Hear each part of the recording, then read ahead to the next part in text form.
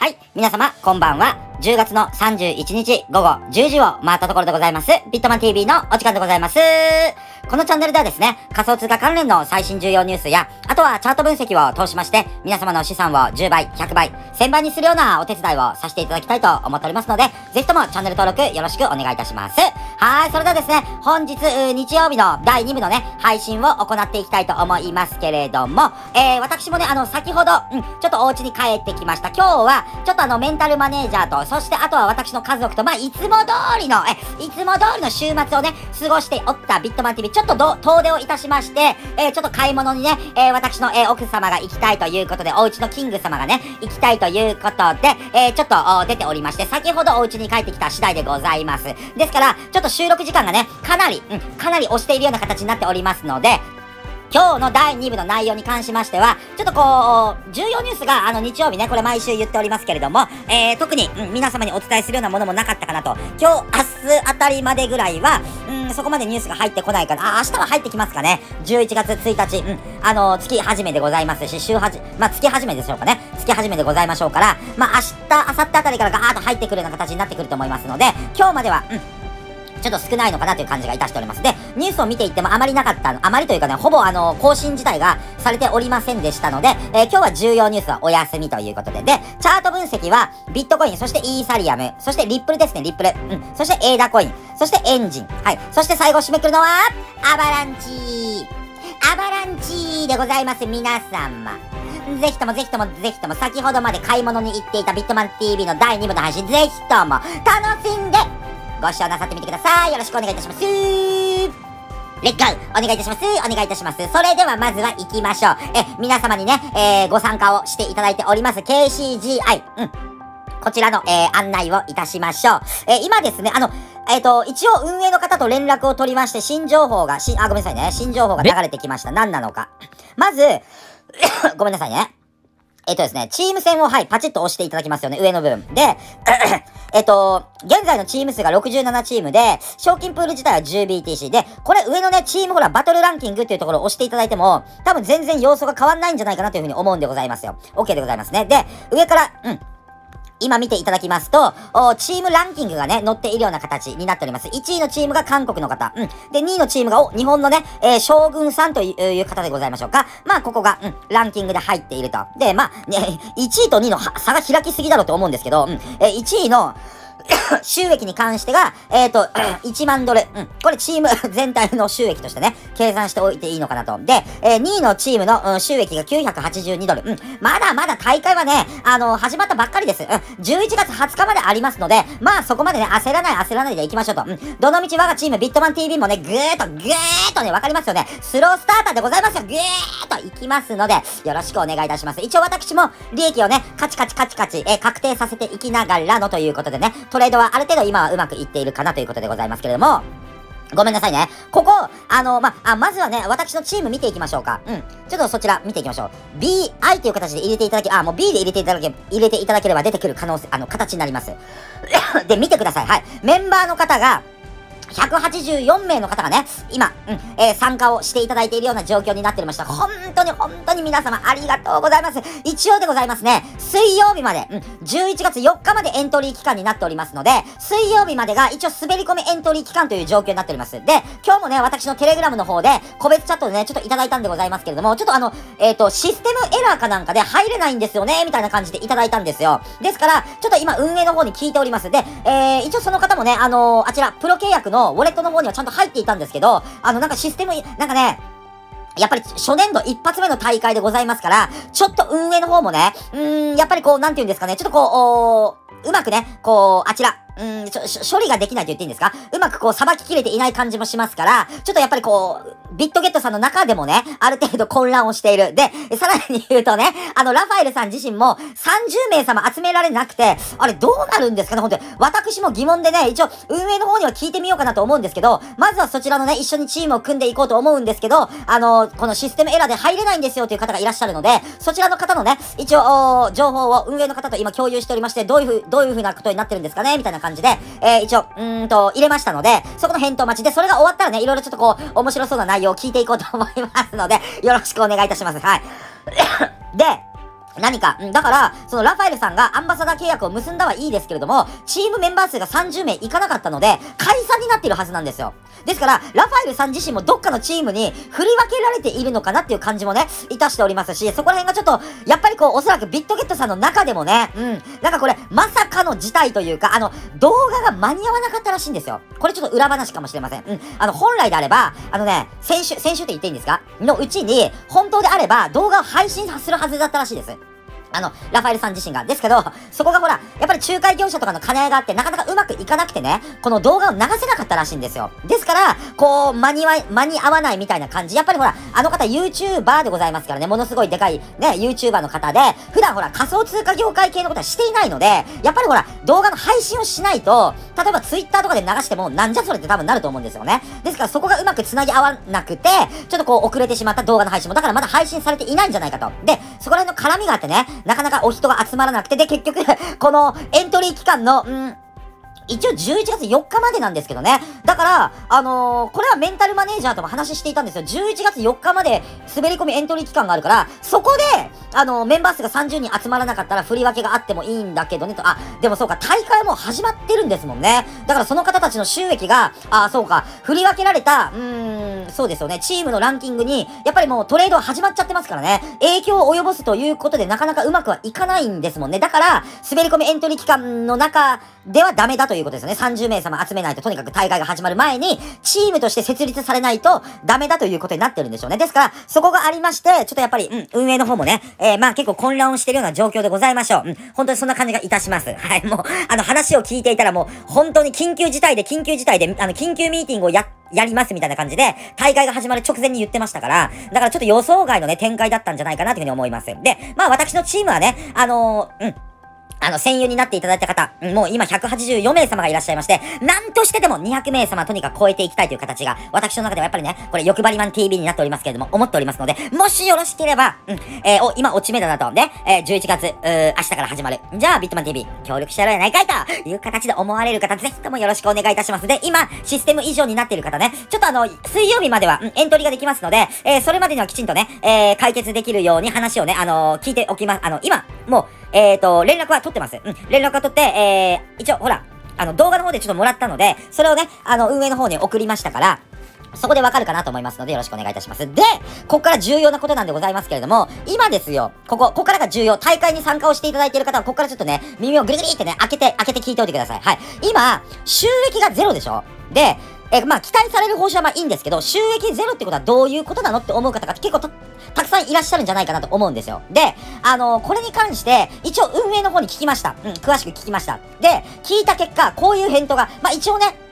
あの、偉大なる航路、えー、じゃなくて、えっと、あちら、精神の時の部屋で画像付きで流しましたから、一回は。まあ、そこを見ていただければわかりますけれども、どういったことなのかって言いますと、とにかく、いいですか？ここ。えっとね、開いてもらったらわかりますように、まだほら、下の方にですよ、ランキングとかユーザーネーム、取引高、そして収益っていうのが出てないでしょこれどういったことかって言いますと、一応ね、この、えー、ビットゲットさんが、ほら、バーを設定していたじゃないですか。あの、500、えっと、5、5万テザー以上の取引高を超えた方に関して、一応そのチームランキングとしての影響が出てきますよ、みたいな感じで、えー、なってると思うんですよね。ですから、一応運営の方が言うには、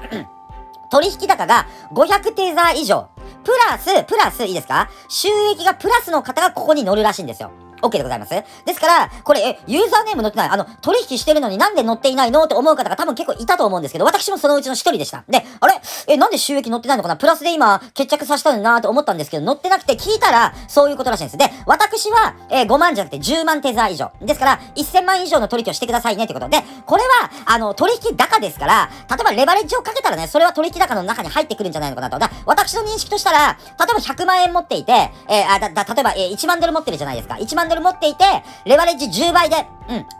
フルで購入した場合は、えー、10万ドル、レバレッジ10倍ですから、10万ドルの取引。ということで、もうこれは、えー、このランキングに乗るんじゃないかなってこと。そこで収益がプラスで終わったらね。ですから、一応これ大会が進んでいけばいくほど、まだほら、始まったばっかりでございますので、皆様の取引高自体もそう多くはないと思うんですよ。ですから、これが11月20日に向けてね、当然取引高が多くなってくると思いますから、ここにボンボンボンボン、うん、皆様のね、こう、超えた方に関しては、えー、さらに収益がプラスの方に関しては、乗ってくるんじゃないかなというふうに思っておりますので、そこはね、あの、心配しなくても大丈夫ですよということでございます。OK でございますか？ですから、まだ誰も、我がビットマンチビットマン TV のチームの中では、収益自体が、うん、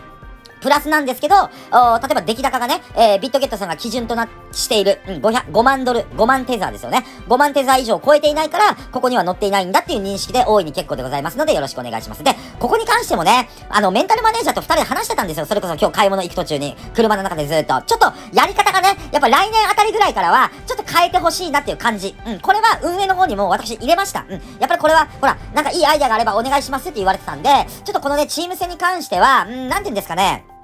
ほら、バイビットの WSOT 参加していただいた方であれば、あの、覚えてると思うんですけど、みんなの取引が結構見れた方が面白くなかったです。なんか、メンタルマネージャーとも言ってたんですけど、なんか、チーム戦に参加しているのに、チーム戦としてなんかみんなで一緒に肩組んでやろうぜっていう感が、なんかないんですよね。だからそれがあったので、ちょっと運営の方には言いましたから、今回は、それが改善されていくかちょっとわかりませんけれども、例えばほら、今からね、システムを変えて、皆さんの取引だ、取引、例えば収益とか、取引高とか、そういったもの収益とかね、ガーっとこう、ランキング形式で。わかりますよなんか、チーム内ランキングも結構気になるじゃないですか。だって、180名様以上いらっしゃいますから、チーム内での競争っていうのも、面白いっちゃ面白いと思うんですよね。お、負けたみたいなね。やっぱ収益やっぱトップ取りたいなっていう方が思っていると思う。で、ほら、あれ、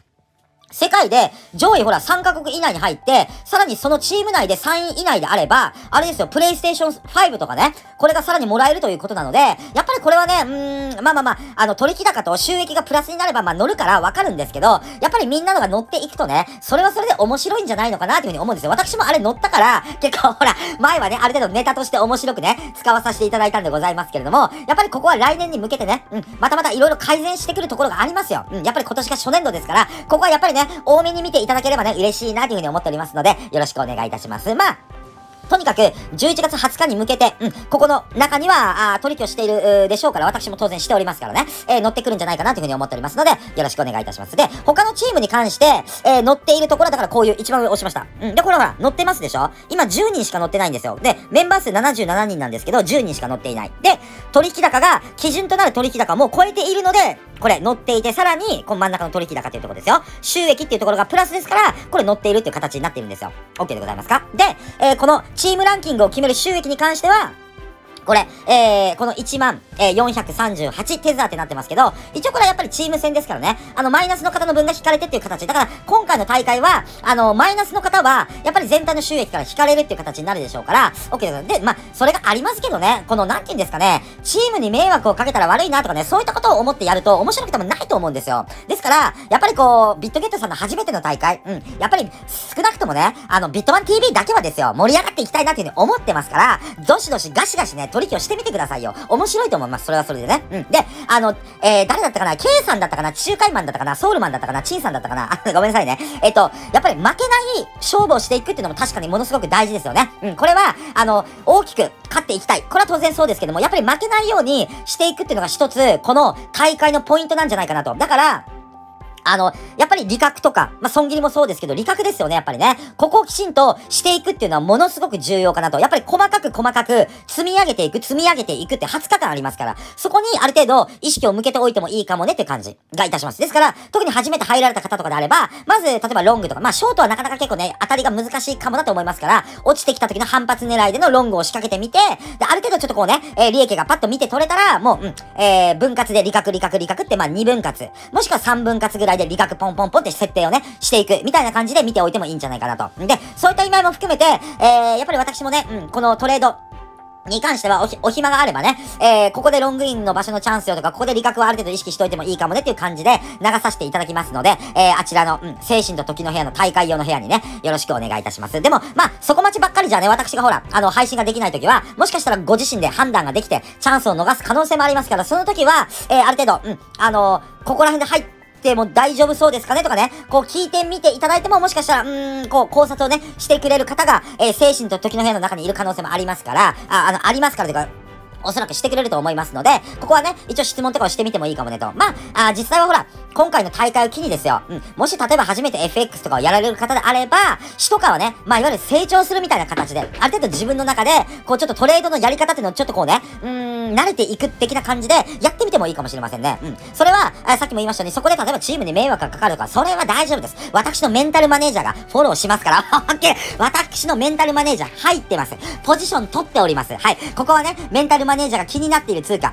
何かリンクでございます。リンクになんか入りたい入りたいって言ったので、いやいや、いいんじゃないポジション取ってみたらっていう感じで言ったんです。昨日の夜にね、取りました。今、損失が出ている状況。よろしくお願いいたしますよ。まあね、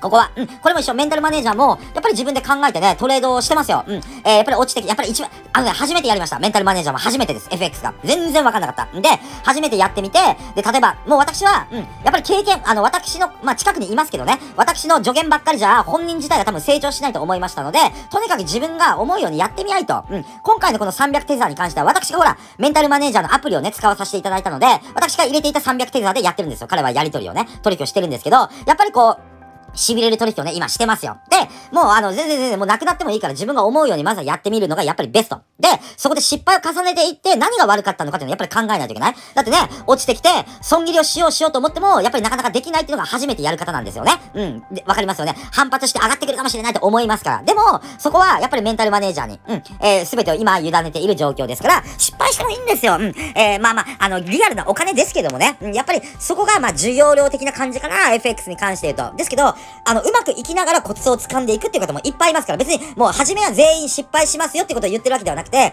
うん、やっぱりうまくいきながらも、あ、次はここが修正できたなみたいな感じでね、うん、うまいトレードができても、あ、ここでもうちょっとちゃんと、うん、例えば、一発利確してしまったと。全部を一発利確してしまった。で、そこからまた上がってきてしまった。で、その上の抵抗線で止まって次落ちてきたってなったら、例えば、あ、一発利確をしたけど、もう一回分割で利確して見ていってもよかったかもねとかね。あ、そういったやり方も当然あったよねとか、まあ話は早、端的ですけどもね。そういった風に、うん、えー、徐々にコツはつかめていきますから、うん、やっぱりこう、ビビらずにね、うん、いろいろやってみる。で、初めての方は当然、うん、レバレッジはやっぱり低めに、うん、低めにしていきましょう。言ってもまあ3から5倍ぐらいまでが理想かなというふうに思っておりますので、ここはとにかく注意をね、しておいてください。よろしくお願いいたします。はい。大丈夫ですかね？大体わかりましたかね？なんでランキングに入っていないのかで、ビットマン TV を押しても、え、誰も取引してないの？じゃなくてしてるんですけど、基準をまだ満たしていないので、載っていないということでね、認識をしていただければ OK かと。で、えー、これが進んでいけば、うん、おそらく入ってくる方入ってくると思いますので、よろしくお願いいたします。はい。とにかく、えー、KCGI のご案内でございました。とにかくまだまだ、えー、トレード期間は長いので、20日までありますからね。うん。あの、取っていきましょうよ。あ、またランキングか。もうコロコロコロコロランキング真面目に変わってきますから、うん。えー、全然全然チャンスはね、えー、あるかなというふうに思っておりますので、ここはね、気合もう直前まで多分動くと思いますよ。このランキングは。うん。ですから、結構ひりついたね、勝負ができるということで面白きかなということでね、よろしくお願いいたします。はい、次行ってみましょう。えー、今日の、おニュースは、うん、ございませんので、あ、一応、えー、私の取引は見ておきましょうかね。一応でございますね。うん。えー、契約の方を見ていただけたらわかるかなと思いますけれども、えっ、ー、と、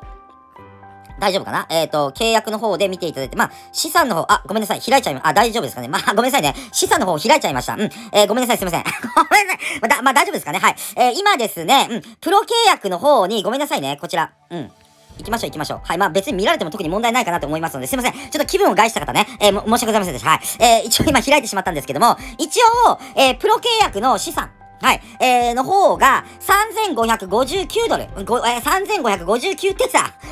入っております。で、一応スタートが、皆様にこれ言ってたと思うんですけど、3000テザーでね、開始をした状態になっておりますので、まあ特に、うーん、も、まあ問題は、うん、ない、問題はないというか、今プラスでね、えー、一応ことが進んでいるかなと。ご、ごめんなさいね。私の今、このビットゲットに入っている総資産がね、えー、ちょっと出てきたんですけども、まあそこまでね、バカみたいに高い金額じゃなかったから、まあよか、よかったかなという、逆にね、まあそこでほら、気分を害す方も多分いると思いますので、すいません。この状態で、ちょっと、あの、もう一回取り直し、ちょっとなかなか難しいかなと思いますので、すいません。申し訳ございませんでした。もし、消せてたら消します。消せてなかったらそのままダダ漏れしますけれども、え ー、すいませんね。ご了承ください。はい。で、一応、えっ、ー、と、はじめ、うん、入れていたのが3000テザーですので、えっ、ー、と、どれぐらい ?500 テザーぐらいね、今、うん、このビットゲットさんの中で言うと、あ、ごめんなさい、プロ契約のウォレットの中で言うと500テザーぐらいね、今プラスになっていますということでございますね。で、えー、一応、うん、えっとね、えー、言っておきましょうか。1点、えっと、1.105ドル。1.105で入って、えっと、1.115ドルで利確しました。で、落ちてきたので、その下の1.113ドルで、えー、もう一回、うん、あ、ちょっとこれやばいな、ずるっと落ちてきそうだなと、ビットコインもね、落ちてきそうだったので、一応利確をしていったという流れでございます。で、今持っているポジション自体は別にこれは見ていってもいいかなと思いますけど、うん、今私が持っているポジションは、ここ、えっとね、1.07、えー、85ドルで一応、ロングインをしました。で、現在注文中ということですから、うん、えー、ここね、一応、ロングをまだ、あと2分割で入れてます。1.04と1.06で入れております。うん。えー、1.04はちょっと厚めに入れているという感じで、で、一応利確ポイントは、損切りはまだ入れてません。利確ポイントは1.1ドルで入れていこうという、1.1ドルで入れているような状況になっておりますのでね、一応私が持っているポジションはそんな感じかなということでございます。OK でございましょうか。まあ、一応、うん、えー、300テザー入れておいて、今500テザーぐらいプラスですから、一応私はね、1万テザー以上を、うん、目指していきたいなというふうに思っておりますので、で、まあそこで稼いでね、現物をちょっとゲッツしていきたいなというふうに思っておりますので、えー、よろしく頑張っていきます。よろしくお願いいたします。3000テザーがなくなったら、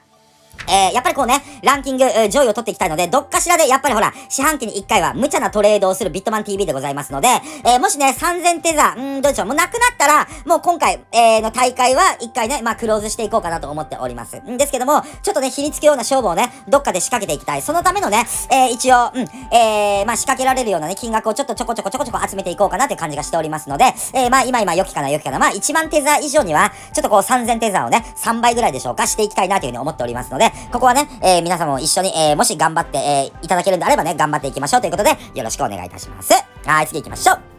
今日のチャート分析行きましょう。はい。え、まずは行きます、行きます。え、まずはこちら。あ、あとですね、私のメンタルマネージャーが、えっ、と、ロングインしていた場所、入っていたのが、ロ、ラ、リンク。リンクで入っていて、えっとですね、どこで入っていたかな？あ、ここです、ちょうど。30ドル付近で入ってました。うん。30ドル付近で入っていたかな？そうそうそうそう。この木29.9ドルとかその付近でロングインで入っていてからの今ずる下げをね、えー、ちょっと行っている状況で、うん、一応ね、メンタルマネージャーにはね、うん、横にいたので、ビットコインこれお前6万ドルに向かっていってるぞ、ちょっとやべんじゃねえかというふうに言ったんですけど、やっぱりね、こうちょっとやっぱりこう、うん、持っておきたい。え、反発してくるかもしれないじゃんっていう形でね、言っておりました。まあまあ、それはそれでね、まあわかりません。相場はね、わかりませんので、まあ、ご自身が考えるようにね、まずやってみていくのがベストかなと思いますので、ここは彼に委ねておきましょうということでございます。で、行きましょう行きましょう。はい。えー、本日の、じゃーんと分析ババブーババブーババブーパワーお願いいたします。お願いいたします。いきます。いっちゃいます。はい。えー、まずはでございますね。はい。えー、こちら。うん。えー、ビットコインなんでございますけれども、ただいまの価格が、えー、6万と、えー、380ドル付近をね、推移しているような形になっております。OK でございましょうか。えー、そして、うんと、日本円で言うと688万円あたりをね、推移しているような流れになっていると。で、ちょっとごめんなさい。LINE がめちゃめちゃ引かれまくっているんですけど、一応この通貨に関しては、いきますよ。うん。えっとですね、えっと、逆三尊がね、作られていきそうな感じもしていたんでございますけれども、こっからほら、昨日でございましょうか。まあ今日ですよね。上、ある程度ちょっと試しには言ってたんですけど、なかなかこのね、6万3000ドルチャレンジをすることもなく、ずるっとね、今落ちてきております。で、まあ見ていただいたらわかるようにね。で、これまあ、MacD 戦も右上がりであまり調子が良くないと、うん、いうこと。で、ごめんなさい。ちょっと、もう一回戻りますけど、ちょっと週足を見てほしいんですけど、週足。ちょっといいですか？えっとね、週足なんですけど、これ、今、週足を見た時にね、こうね、ずーっと遡っていった時にちょっと思ったんですけど、あのですね、3週連続で、うん、あの、陰線をつけているのが直近でほぼないです。ここ4週連続つけてますけど、ここも3週連続つけてますけど、えっと、今年の6月、うん、以降は、3週連続陰線っていうのがないので、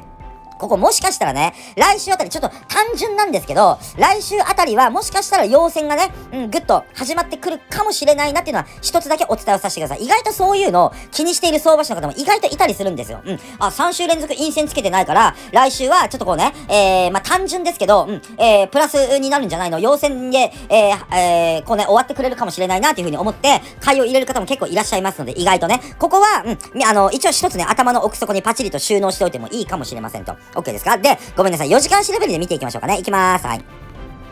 えっ、ー、と、ちょっと細かいんですけれども、4時間足レベル、かなりね、LINE がごちゃごちゃしております。すいませんね。私が、一応、あの、メンタルマネージャーに色々言っていたので、うん、ちょっとこの LINE 割れたらまずいよっていう風に言っていたりして、その説明でね、一応入れたんですけど、えー、今、とりあえず、いいですか？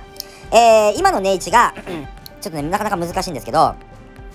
このライン見てください。はい、このライン。このラインは何かって言いますと、三尊形成をした時のネックラインになります。ネックライン。で、ここを割れ込んで、まあ、いわゆる騙し下げみたいな感じでも捉えておいていいのかなと思いますけれども、一応ここで支えが入っていたのは、やっぱりこの下落チャンネルありますよね。これは下落チャンネルの2本のラインです。下落チャンネルの、いわゆるサポートラインでちゃんとサポートして反発をしてきたっていうところもありますから、三尊成立からの下落チャンネルのサポートラインでの反発っていう風に見ていけるでしょう。OK です。で、今、これ、もう一回、このね、いわゆる三尊形成をしていた時のネックラインにもう一回チャレンジしてきてるんですよ。OK ですね。チャレンジしてきております。ですけれども、チャレンジしてきているんですけど、OK ですか？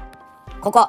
このね、右下がりのこのラインでございます。これは、先ほど皆様に言いました。うん。下落チャンネルを形成していてからの高値を結んだラインでございます。はい。戻ってきての高値を結んだライン。つまり、このラインが下落チャンネルのレジスタンスラインにもともとなっていたんですよね。これを、今ね、クロスとして重なりまして、ある程度硬いね、サポートとして機能し、しようとしております。つまり、6万ドルっていうのがめちゃくちゃ重要。ですけど、何遍も言いますけど、ここは、この三ゾのネックライン、さらには、下落チャンネルのレジスタンスラインでを、えー、この2本を守りたいという方がね、えー、当然、いらっしゃいますので、なんとか粘り腰でいってる。で、このラインを割れ込んでしまうと、うん、このラインを割れ込んでしまうと、あまりね、いい要素が出てきません。あとは一つ、うん、あ、そうですね、ごめんなさい。いい要素が出てきません。当然、間にもう何もないので、うん。確か冷やしもなかったかなと思います。冷やしも、そうなんですよ。冷やしも何もないんですよ。つまり、このね、ラインを、ダブルラインを、クロスラインを割れ込んでしまうと、5万、6万ドルを、明確にずりっと割れ込んでしまうと、ちょっとね、5万7千ドルぐらいまでの、うん、5万、今となってはもう7万、ごめんなさい。5万7500ドル。ぐらいまでの下落はね、やっぱり意識をしておくべきでしょうということで、ここはね、共通認識として持っておきましょう。OK でございますか？共通認識として。大丈夫ですかね？で、もし5万7500ドル、このね、えー、上昇、うん、えー、上昇チャンネル、広い範囲の上昇チャンネルの抽選ラインになってます。これが57,500ドル。で、ここを割り込んでしまうと、次は下落チャンネルを一旦意識していた時の、うん、わかりますよね、サポートライン。つまりドルベースで行くならば、ここ、やっぱりここは効いてくるかなと。56,500ドル付近。これは、えー、4時間足レベルのね、えー、こちら、長期の移動平均線もぐーっと上がってきておりますから、ある程度サポートとしてはね、効いてくるんじゃないかなというふうに思っておりますので、うん、57,500、そして56,500までの、ちょっとオチはね、6万ドル割れ込んだら、やっぱり想定をしておくべきでですから、そこはね、よろしくお願いいたします。OK です。で、今日、なんでね、あの、あちら、うん、あの、メンタルマンにね、言っていたのか、まあまあ、後付けなんでございますけれども、ごめんなさいね、ここ、うん、三尊を形成していたので、この右上がりのラインを割り込むと、つまり、ここね、5万1000ドルを明確に実践として割り込むとおそらくずる落ちするよと、6万ドル付近まで多分叩くよ、これっていう風に言っていたら叩いてきたんですよ。ですから、やっぱりその、リンクも、そのちょうどね、あの、ビットコインが6万1000ドル割れ込んだあたりで、リンクも高値を結んだら割れ込んでしまっていたので、やっぱりそこではね、あの、損切りを一回はしておくべきだったかなという感じ。んですけども、やっぱりここはね、経験値を積むという意味で、まあ私は特に何も言わなかったんですけども、また彼は彼自身でね、いい勉強になっているんじゃないかなっていう感じがね、しております。まあ、当然反発をしてくる可能性がありますけれども、リスクをね、抱えながら取引をしていくっていうのはものすごく神経がかかりますから、そのリスクをいかに軽減できるのか。ですから、例えば、まあ私だったら、6万1000ドルビットコインが割れたら、やっぱり6万ドルが見られちゃうから、落ちてくる可能性の方が高い。そして、リンクに関しては重要な高値ラインを下に割れ込んでいっちゃってましたから、やっぱりもうそこでの損切りはしていったかなって感じ、私だ。で、また落ち待ちを、落ち待ちを待っていく感じ。うん、まあ、例えば移動平均線とかでまでの落ち待ちを待っているみたいな感じでね、えー、ロングインをしていったんじゃないかなというふうに思いますけど、まあ、ここはね、ある程度、うん、まあ、皆様もご自身で各々で考えて取引をしてね、えー、経験値を積んでいくのが一番いいんじゃないかなというふうに思っておりますので、そこはね、よろしくお願いいたします。はい。私流せ、流、私が流せる情報は流しますのでね、よろしくお願いいたします。で、次ビットコインを入るタイミングとしたら、やっぱり当然ですけれども、もうこの高値のライン、うん、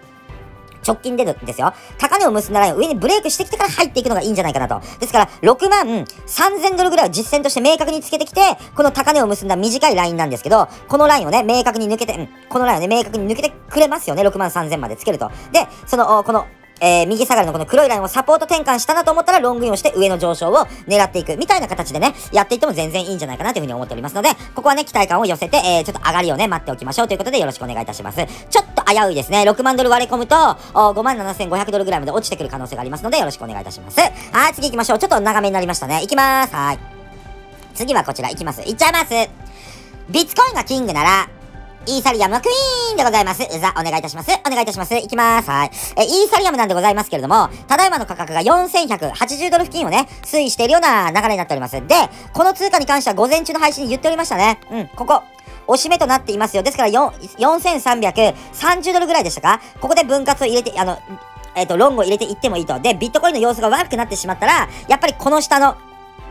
サポートラインです、これ。うん。このね、短期で作られていたサポートライン上ぐらいまで落ちてきますよと。で、そこが第2分割ぐらいのラインですよと。で、その2つのライン、まあ、いわゆるこの特に下ですよね。このラインを実践としても下に割れちゃっているんですよね。ですからこれ、下手すると、ここです。わかります？この、今から延長します。このライン。このラインっていうのはものすごく重要なね、ラインになってます。はい。えー、サポートとして、もともとレジスタンスとして聞いていてからの、サポート転換。はい、サポート転換をしているラインでございますから、えー、やっぱりここまでの下落はね、見ておいた方がいいかなという感じ。今、ビットコインがもし6万ドル割れたら、おそらくずるっと落ちてきて、3880ドルぐらいまでの落ちはね、全然想定をしておくべきですから、ここは注意をしておきましょう。特に間支えが入るようなものもないっちゃないんですよね。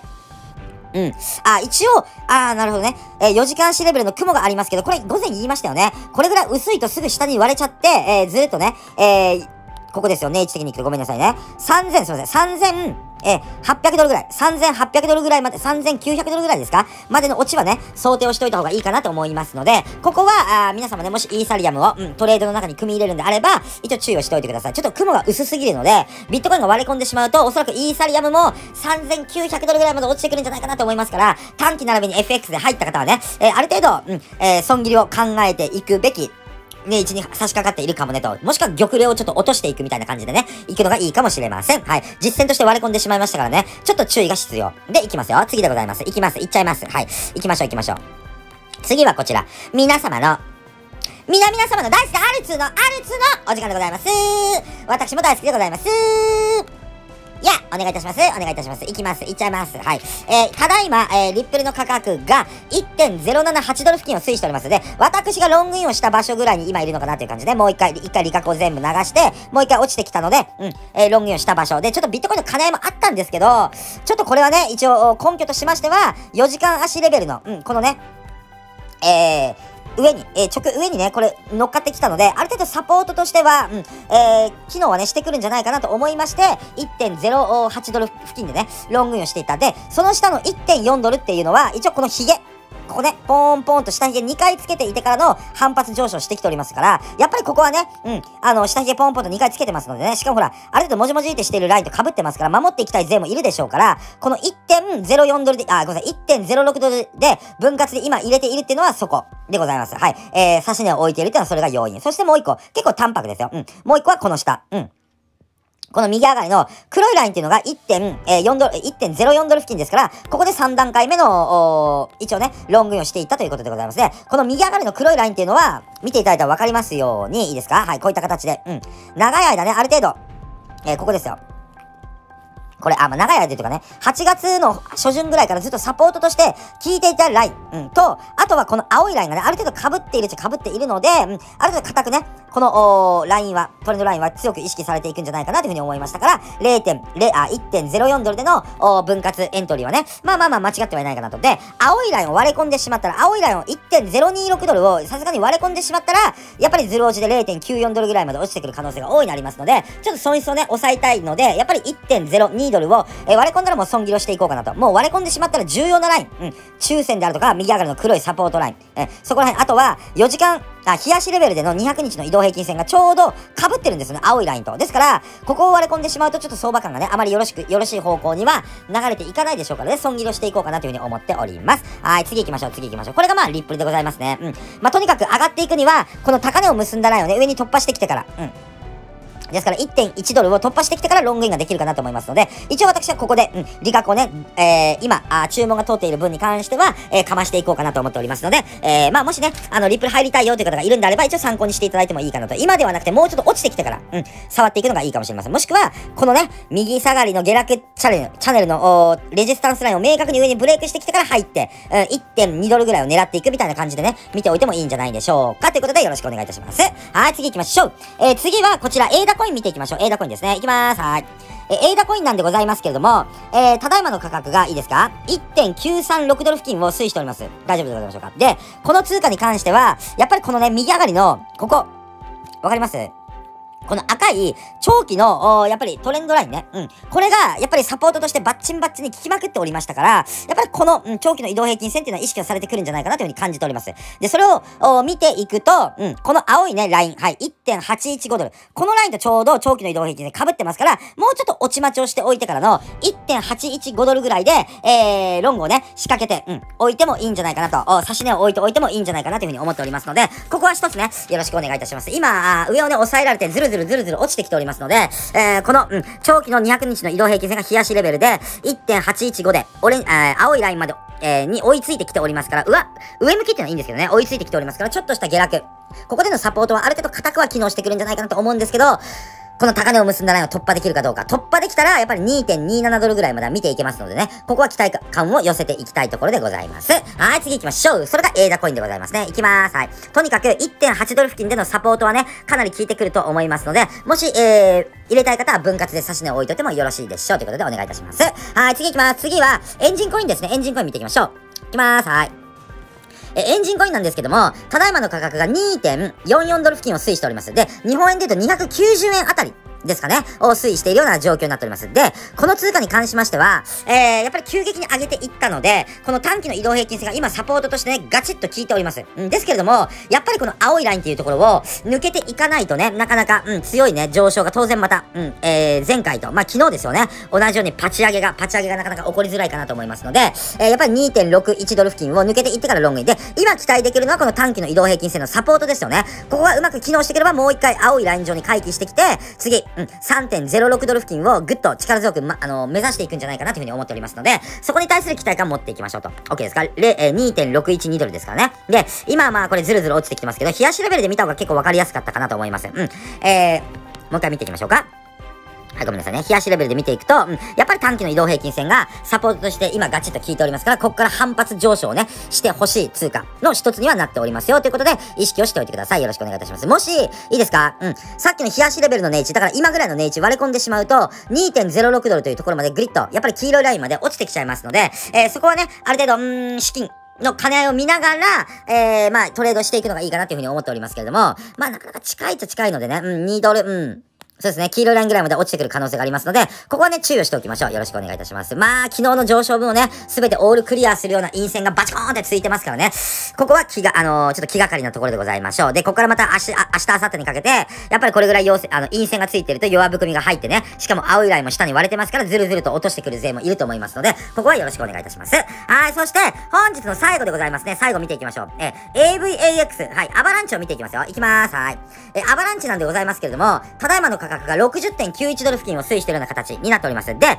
この通貨に関してはもう三尊ですよね。うん。三尊がやっぱり意識はね、されていっているんじゃないかなという感じ。ですから、この右下がりの黒いラインを割り込んでしまったら、えー、ずるっと、うん、ずるっとね、えー、51ドル付近までは落ちてくる可能性がありますよっていうのはお伝えさせてください。で、この通貨に関してはもう一個ものすごく重要なことがありまして、冷やしの雲がね、ちょうど中に突入してるんですよ。ですから、これずるっと落ちてきた場合、いいですえー、冷やしの雲の形がちょうど、えー、ここですよね。まあ、バチッと合わさってますけど、51ドル付近なんで、まあ、50ドルぐらいでございましょうかね。ですから、ある程度、今から割れてきたとしても、うん、まあ、10ドル幅でかいですけどね、まあ、10ドル幅ぐらいでの損失を抑えられるかなと思いますので、もし、この高値を結んだライン、はい、私もともと聞いておりました。はい。この高値を結んだラインを下に割れてしまったら、やっぱりちょっとね、このナイアガラが起きる、バーってね、バーって落ちる可能性がありますので、えー、そこは注意をお願いいたします。で、落ちてくるんであれば、やっぱり32ドル付近までのね、下落は意識しておいてもいいかなというふうに思っておりますので、よろしくお願いいたします。で、上に関していくと、な、なるべくならね、今のこの状況でなんとか粘って、うん、来てほしい。で、やっぱり高値を結んだラインもそうなんですけど、えー、三尊形成をね、やっぱり否定していかないといけないので、うーん、どうでございましょう。うん、この右上がりのね、えー、上昇チャンネルのサポートライン上に回帰してあたりぐらいから、ロングインをね、仕掛けていくのがいいんじゃないかなというふうに思っておりますので、ここはね、よろしくお願いいたします。もしくは下に落ちてきた時の結構強固に効いてくるかなと思いますので、えー、51ドル付近での利確はまあ推奨でございましょう。よろしくお願いいたします。はい、それでしたら本日のね、第2部の配信は以上となります。そして、そして、そして行きましょう。チャンネル登録者様の数がいきますよ。なんと、なんと、9200、あ、ごめんなさい。725名の方に登録をしていただいております。ありがとうございます。皆様、本当にありがとうございます。皆様のですね、高評価であるとか、バットボタンでも全然構いません。あとは、うん、やっぱり、えー、あちら、コメント等ですよね。そして、えー、ツイッターのリツイートの方ね、えー、もしご協力できるんであれば、ぜひともぜひともよろしくお願いいたします。はい。初めて聞かれた方は、ぜひともね、チャンネル登録というボタンをブチリと、ブチリと押していただけたら私嬉しいございますので、こちらも重ね重ねになりますけれども、よろしくお願いいたします。はい。それではね、本日の第2部の配信は以上となります。えー、明日、えー、またね、第1部の配信、昼ぐらいでございましょうかね。滞りなく行わさせていただきますので、それまで楽しみにお待ちください。それではおやすみなさい。では、バイチャッバイチャッ